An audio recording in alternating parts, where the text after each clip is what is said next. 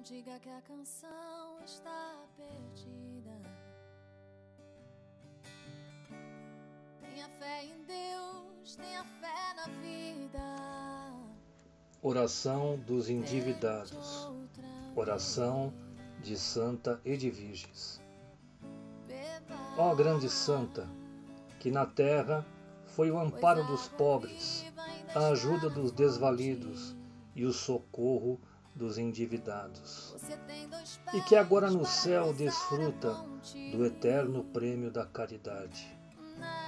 Suplicante, eu te peço que seja minha advogada, para que obtenha de Deus o auxílio urgente que preciso.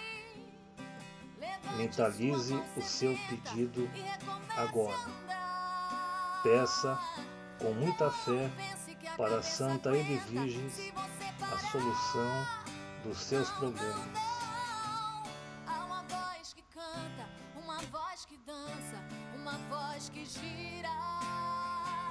Bailando no ar. Santa Edviges, protetora dos endividados, aumente a minha confiança na providência divina, para que não falte o pão de cada dia e que no final do mês não falte o necessário para que eu possa dar aos meus familiares saúde, educação e dignidade na moradia.